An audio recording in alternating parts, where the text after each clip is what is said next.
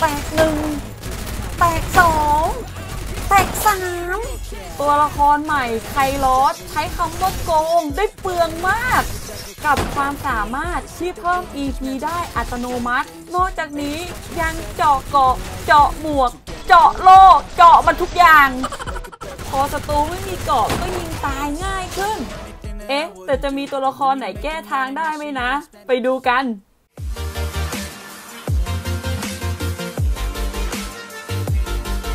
สวัสดีเพื่อนๆชาว Garena Free Fire ทุกคนนะคะ อยากฟังเรื่องเม้าท์มอยก็มาดูช่องเม้าท์มินค่ะ ในที่สุดก็คลอดออกมาจนได้กับคลิปรีวิวตัวละครใหม่ไคลอสก็จะเป็นการรีวิวแบบละเอียดยิบอีกเช่นเคย ซึ่งกว่าจะได้ตัวละครไคลอสมา เราต้องไปทำภารกิจรายวันสะสมแต้มไปเรื่อยๆ จนครบ 200 แต้มนะคะ ถึงจะได้รับตัวละครแบบถาวร ซึ่งถ้าหากเล่นติดต่อกัน 3 วันก็จะได้รับไปทันทีเฮ้ยแต่ตัวละครเนี้ยมันมีหน้ากากติดตัวมาให้เลยค่ะ แถมเราก็ถอดออกไม่ได้ด้วยนะคะ อดเห็นความหล่อของพี่แกเลย ไม่เหมือนกับตัวละครหงอคงนะคะ ที่เรายังพอเห็นหน้าตาแกอยู่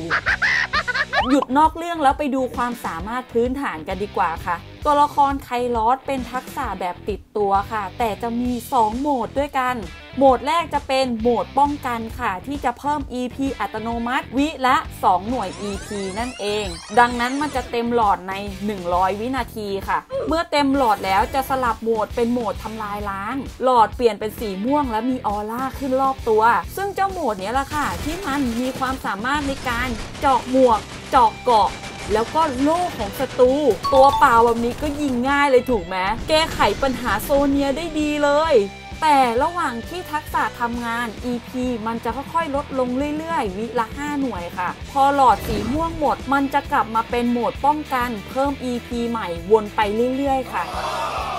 ไปดูความรุนแรงในการเจาะเกาะดีกว่าค่ะฝั่งซ้ายที่มีไคลอสยิงเกาะสีแตกได้ใน 8 นัดค่ะ แต่ถ้าหากไม่มีไคลอสล่อไป 17 นัดอะส่วนยิงหมวก3ไคลอสใช้ 2 นัด ไม่มีไคลอสใช้ 3 นัด และนี่ก็คือความสามารถของตัวละครไคลอสค่ะ เอาจริงเราสามารถปิดคลิปได้เลยนะเนี่ย แต่ไม่ได้ค่ะ เราต้องละเอียด ตอนที่มินเอาตัวละครนี้ไปเล่นครั้งแรกอะมินแอบงงในการทำงานของมันค่ะ บางทีทักษะก็ขึ้น บางทีก็ไม่ขึ้น ถ้าทักษะไม่ขึ้นมีอยู่ 2 ปัจจัยหลักๆ ค่ะ อย่างแรกก็คือ เพราะศัตรูไม่มีเกาะ ก็คือมันเจาะเกาะไง ไม่มีเกาะทักษะก็ไม่ทำงานดาเมจก็เท่าเดิมนะคะ แต่พอเรายิงศัตรูหลังจากที่ใส่เกาะแล้ว ทักษะถึงทำงานค่ะซึ่งนั่นก็เป็นข้อจำกัดอย่างหนึ่งค่ะ แปลว่าช่วงต้นเกมในแมปใหญ่ หรือตาแรก ๆ ใน 4v4 ทักษะของไคลอสจะไม่มีผลเลย และสาเหตุที่ 2 ก็คือ ศัตรูไม่มีทักษะโล่ ให้สังเกตเวลายิงค่ะ ศัตรูตัวนั้นจะต้องมีโล่สีขาวๆฟ้าๆขึ้น ทักษะไคลอสถึงจะทำงานค่ะ และศัตรูตัวเดียวกันสามารถโล่แตกได้มากกว่า 1 ครั้ง โลขึ้นไวแบบนี้แสดงว่าไอตัวเนี้ยน่าจะใช้อันโตนิโอค่ะ เอ้า มันขึ้นไปข้างบนอีกแล้ว จะไปไหนล่ะจ๊ะแตกสามโซเนียขึ้นแตกสี่ โอ้โห คนเดียวแตกสี่ครั้ง แห้งตายเลยเนาะแล้วตัวละครที่มีโล่มันมีกี่ตัวล่ะ ตัวแรกที่หลายๆ คนนึกถึงก็คงไม่พ้นโซเนียค่ะ อันนี้เห็นโล่ชัดที่สุดแล้ว ต้องเป็นทักษะที่มีโล่สีฟ้าตรงหลอดเลือดนะคะ เวลาเรายิงศัตรูไปอะ มันจะโดนโล่ก่อนโดนเลือดค่ะ ตัวละครที่ 2 อันโตนิโอ ปรับทักษะใหม่ ให้มีโล่ป้องกันสีฟ้าตั้งแต่เริ่มเกม โล่นี้จะไม่มีทางหายไป แต่ใช้เวลาฟื้นฟูประมาณ 6 วินาที ตัวละครที่ 3 คาเพล่า หลังจากถูกคาเพล่าชุบ จะเพิ่มความเร็วการเคลื่อนที่ และมีโล่คอยป้องกัน ดังนั้นมีผลกับคาเพล่าตัวละครที่ 4 ซานิหลังใช้ทักษะกดใช้ จะมีโล่สีฟ้าออกมาให้กับตัวเองและเพื่อนที่อยู่รอบๆ แต่ตัวละครที่มีโล่สีฟ้ามีแค่ 4 ตัวเท่านั้น ไปดูอีก 3 ตัวละครที่มีโล่ป้องกันแบบอื่น ไคลอสไม่มีผลกับโดมของโคโน่ค่ะไคลอสไม่มีผลกับโล่ของเคนตะ ที่เห็นว่าโล่แตกอันนั้นคือของซานิค่ะ และตัวละครไคลอสไม่มีผลกับทักษะจัสติน พอเรายิงไปอะ มันไม่ใช่โล่สีฟ้า แต่มันเป็นโล่สีเหลืองค่ะ ซึ่งโล่ตัวนี้มันมีเอาไว้แค่ลด damage เฉยๆ ไม่ได้มีไว้ป้องกันค่ะ เพราะฉะนั้นไคลอสไม่มีผลกับ 3 ตัวนี้ เจาะเกาะเก่งแบบนี้ไปดูวิธีแก้ทางดีกว่าแต่มันไม่สามารถแก้ทางได้ร้อยเปอร์เซ็นต์นะคะ ยังไงเกาะมันต้องแตกอยู่แล้ว แค่ว่ามันจะแตกช้าหน่อย โอ้ ยิ่งพูดยิ่งแย่เนาะ ต่อให้เป็นฮายาโตะร่างสองก็แตกค่ะ หมายถึงเกาะเว้ย คราวนี้มาลองทดสอบกับเจ้าพ่อแห่งความแข็งของเกาะแอนดูร่างสองค่ะ เอามาแค่ตัวเดียว แต่ทำให้เกาะทนทานมากขึ้นค่ะ จากไคลอสยิง 8 นัดกลายเป็น 12 นัดค่ะ แปลว่าถ้าหากเราเอาแอนดูร่างสองมายกตี้ ก็จะทำให้ไคลอสไม่มีผลค่ะ แต่จะมีคนเอาแอนดูมาไหมก็อีกเรื่องหนึ่งส่วนอันนี้แถมให้ค่ะ ไปลองทดสอบตัวละครโจเซฟ ที่ทักษะก่อกวนจะไม่มีผล Wow. แต่พอยิงเกาะแตก 8 นัดเหมือนเดิมค่ะ ซึ่งนั่นก็หมายความว่าโจเซฟไม่สามารถป้องกันไคลอสได้ค่ะ เมื่อกี้เป็นการป้องกันไม่ให้เกาะแตก แต่รอบนี้มาทดสอบกับตัวละครที่ช่วยซ่อมเกาะอย่างสเตฟี่ค่ะ คือนางซ่อมเกาะได้ก็จริงค่ะ แต่สถานการณ์จริงอะ่ะ มันไม่มีใครมายิงทีละนัดแบบนี้ไง แปลว่าสเตฟี่ซ่อมได้แต่ก็ต้านไม่ไหวอยู่ดีค่ะ ขนาดสเตฟี่ยังไม่ไหวโบลิงก็ไม่ต้องพูดค่ะ ดูเหมือนจะมีแค่แอนดูร่าง 2 ตัวเดียวนะคะ ที่ยังพอต้านทานได้อยู่ และมีอีก 2 ตัวละครที่น่าสนใจค่ะ ว่าถ้าเอามาใช้กับไคลอสจะเป็นยังไง ตัวแรกก็คือเคความสามารถของเคอะทำให้เรามีหลอด EP เพิ่มขึ้นเป็น 250 หน่วย ซึ่งมันจะทำให้เวลาในการสะสม EP นานมากขึ้นค่ะ แต่เช่นเดียวกัน มันก็จะทำให้เราสามารถใช้ทักษะทำลายล้างได้นานขึ้นนั่นเองเคอะสามารถช่วยเพิ่ม EP ได้ค่ะ 2 แรงแข็งขัน 4 วิเพิ่ม EP ได้ถึง 10 หน่วย หรือเฉลี่ยวิละ 1.25 หน่วยค่ะ แต่เวลาเคฮิวเลือดอะมันจำเป็นจะต้องเอา EP มาแปลงเป็นเลือด หลอดม่วงที่ลดไวอยู่แล้ว ก็จะยิ่งลดไวยิ่งเข้าไปอีกค่ะ ฉะนั้นเอามิเกลไปด้วยเนาะ Okay. ตัวละครที่ 2 โอไลออนค่ะ หลอด EP ของเราเปลี่ยนเป็นสีแดง และรอบนี้กว่าจะเต็มหลอดคือ 300 หน่วยเอ้ยแต่พอเต็มหลอดกลายเป็นสีกาเดียนไล่สียังสวยเลย แต่ข้อเสียของโอไลออนคือมันซด EP เยอะมากค่ะ ใช้ทีล่อไป 200 หน่วย และต่อให้เอามิเกลไป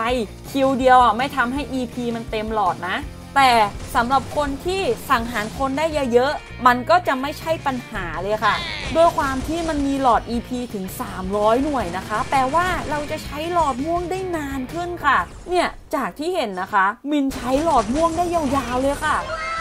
เฮ้ยการเอาเคกับโอไลออนไปใช้กับไคลอสเนี่ยไม่ได้แย่เลยนะคะ แต่มันจะมีตัวละครที่ไม่แนะนำให้เอาไปใช้ นั่นก็คือ A124 ค่ะ นั่นเป็นเพราะมันอาจไประงับทักษะโล่สีฟ้าของศัตรูค่ะ ถ้าหากศัตรูไม่มีเกาะอยู่แล้ว แถมยังโดนปิดความสามารถของโล่อีก แปลว่าทักษะของไคลอสจะไม่มีผลนะคะ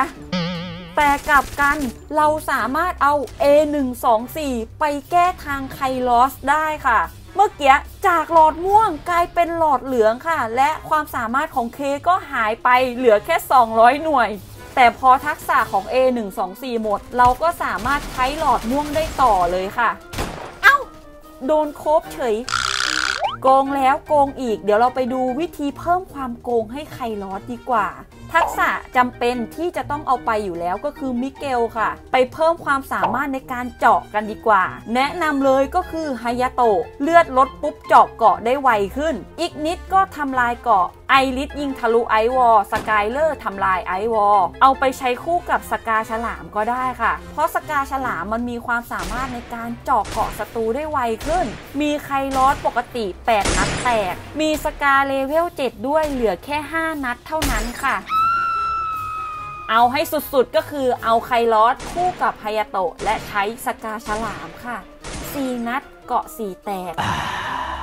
แล้วพอเอาไปเล่นจริงอะ เกาะแตกไวมากค่ะ ดูดิ เกาะแหกหมดแล้วเนี่ย นี่เอาซะเพื่อนชุบไม่ทันเลยทีเดียว หรือจะเอาทักษะไป nerf ศัตรูก็ได้ค่ะ ในที่นี้มินชอบนิกิตา หรือจะเอาทักษะไลเดนไปด้วยก็ดีเหมือนกันค่ะ ไคลอสเจาะเกาะแมงมุมกัดรีดเลือด แถมนิกิตายังทำให้การเพิ่มเลือด หรือการทันยาต่างๆ ได้น้อยลงอีก คอมโบนี้น่าสนใจมากค่ะ คือมินไม่มั่นใจว่าเขาไปบัฟทำให้แมงมุมมันหาตำแหน่งศัตรูได้ดีขึ้นหรือเปล่า อันเนี้ยหนีออกมาแล้วนะ ยังเลี้ยวตามมาได้อะ พยายามให้แมงมุมอะมันอยู่ในตำแหน่งที่คนเดินผ่านบ่อยๆ ค่ะ อันแน่มีศัตรูติดกับเราแล้วจ้าเอ๋นี่ยิ่งกว่าอัดตัว อัดขาค่ะ เหลืออีกตัวอยู่ในบ้านส่งแมงมุมออกไปจับติดกับแล้ว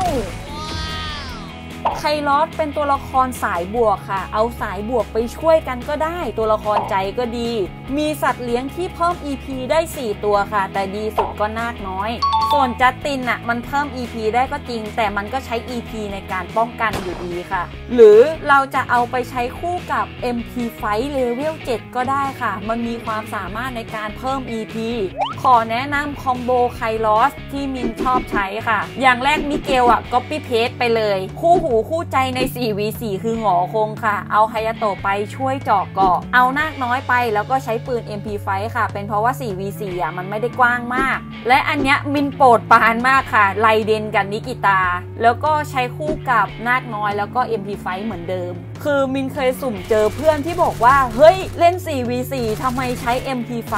คือมันเล่นระยะไกลอะ damage เข้าน้อยก็จริงค่ะ แต่มันรัวมากนะ เฮ้ย มีคนติดแมงมุมแล้วค่ะ ดักไว้หน้าทางเข้าบ้านยังไงก็โดน เห็นไหมพอใช้คู่กับ MP5 อะหลอดม่วงแทบไม่ลดค่ะ ส่วนถ้าเป็นแมปใหญ่มินจะชอบใช้ทัศยะคู่กับสานี้ เอาล็อกคูณไปลดคูดาวทัศยะไปใช้คู่กับสกาฉลาม คือแมปใหญ่ใช้สกาเถอะค่ะ MP5 ยิงไกลไม่ไหวจริง มีเมื่อกี้พอกดทัศยะแล้วซานี้มันช่วยป้องกันให้ค่ะ เมื่อกี้ก็เลยแบบไม่บาดเจ็บเลยอันนะ อ้าหมวกแตกค่ะ อีซี่แล้วแบบนี้ เอ้ยข้างหลังใครหลอยมา ใครลอดที่โดนใครหลอย แล้วก็มีใครลาดไปอีกทีค่ะ เอาจริงมันก็ขึ้นอยู่กับความถนัดของแต่ละคนนะคะ อาจจะเอาไฮยาโตะไปแทนที่ก็ได้โอ้โหทดสอบมาเยอะขนาดนี้ได้เวลามาสรุปผลการทดลองของไคลอสแล้วค่ะ เริ่มจากข้อดีของไคลอสค่ะ ความสามารถในการเจาะเกาะแล้วก็หมวกของศัตรู พอตัวเปล่าศัตรูก็ตุยไวขึ้น แต่นะ เราก็ไปฟาร์มเกาะต่อจากเขาไม่ได้เหมือนกัน อย่างที่ 2 ความสามารถในการเจาะโล่แก้ปัญหาโซเนียได้ข้อที่ 3 ถ้าหากอยากเพิ่ม EP ไม่จำเป็นต้องเอาเคไปแล้ว เราจะได้เหลือช่องเอาไว้ใส่ทักษะกดใช้ตัวละครอื่นไปแทน